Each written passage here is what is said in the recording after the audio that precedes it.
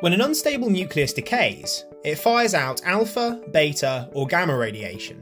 What are the three types of nuclear radiation, and what are the dangers and uses?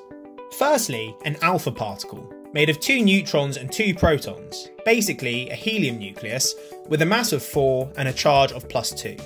When a nucleus is too big, it emits an alpha particle to become smaller.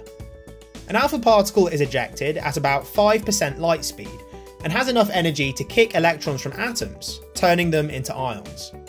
Alpha is the most ionising, creating 30 to 50,000 ions per centimetre of air. But being highly ionising means it quickly loses energy and stops, giving it the shortest range of about 1 to 5 centimetres in air and it can't pass through skin. Next is a beta particle, basically a fast electron with a very small mass and a charge of minus 1. When a nucleus has too many neutrons, it turns one into a proton by emitting a beta particle. The beta particle is emitted at about 60% light speed. The beta particle is less ionising than alpha, creating 50 to 100 ions per centimetre of air. But because it loses energy slower, its range is larger than alpha, about 1 metre in air, up to 2 centimetres in living tissue, or 3 millimetres in aluminium. Finally, a gamma particle, the highest energy electromagnetic wave or photon, which is massless and chargeless. When a nucleus has too much energy, it releases a gamma ray to get rid of it. Gamma is the least ionising, as little as 3 to 5 ions per centimetre of air. This gives it the longest range, hundreds of kilometres in air, tens of centimetres through living tissue, and is halved in intensity by 1.2 centimetres of lead. Here's a summary of the three types of nuclear radiation. Now, what are the dangers? There are two types of danger. Firstly, irradiation, when the radioactive source is outside your body, or contamination, when the radioactive source is inside your body. Alpha danger. When an alpha source is outside the body, because alpha can't penetrate the skin, there is little danger from irradiation.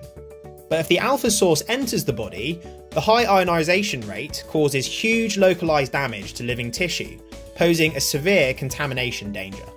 Beta danger. Unlike alpha, beta radiation can penetrate skin, although generally it doesn't reach internal organs, posing a moderate irradiation danger.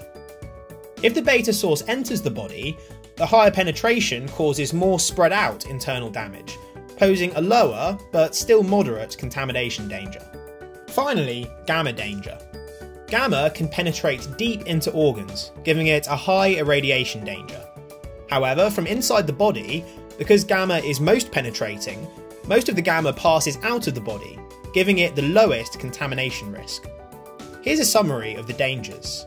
Now, what are the uses? Alpha use smoke alarms. Inside a smoke alarm is an alpha source and a detector.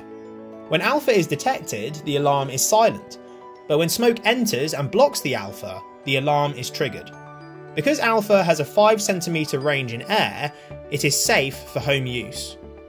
Beta use, measuring thickness of objects. Take a sheet of paper. A beta source is placed on one side and a detector the other. A sheet of paper with the desired thickness may absorb 50% of beta particles. But thicker paper would absorb more beta and thinner paper less beta. So then thickness can be tested without any physical contact. Gamma use, medical imaging. A gamma emitting source is injected into the patient, which then spreads into the body. Gamma rays then leave the body where they are detected, and a 3D image can be formed of the inside of the patient. So that's nuclear radiation explained. If you enjoyed the video, please like and subscribe.